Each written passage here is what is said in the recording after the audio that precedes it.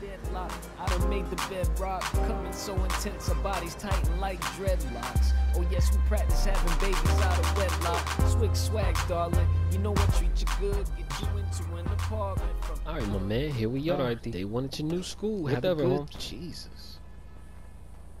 She's the thumb daughter. I can't even move a thing. It's getting on my damn nerves. This You straight? America. Can stand. Hold up. Hey, yo, Ralph. Hold up. Yo, Ralph. Let me talk at you for a minute. Come here. What is it, sir? What? Man, come closer, man. We're here in America. What are you doing? What is it, Papa? Quit calling me that. Listen, are you still worried about if you meet the right girl and not having the words Oh. to say? Yes, please help me with the American women. Well, I mean, I got more advice if you're willing to listen. Yes, and any woman that I come encounter with, I can See, share oh hell you, no. Mr. See, you don't want to listen. No problem. Okay, okay, I listen. All right, man. The first thing you gotta do. I mean, look. You know that Spanish, man. Speak that Spanish. Be mwah, eating out the palm of your hand. Oh, so how do you say? Speakity Spanish Get you in the panty?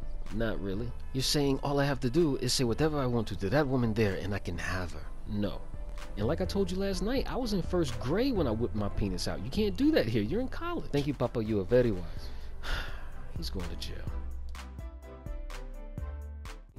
I say I know my baby really, really likes me. She likes me. I like my baby back. She likes me. She likes me. I like my baby back. She likes me.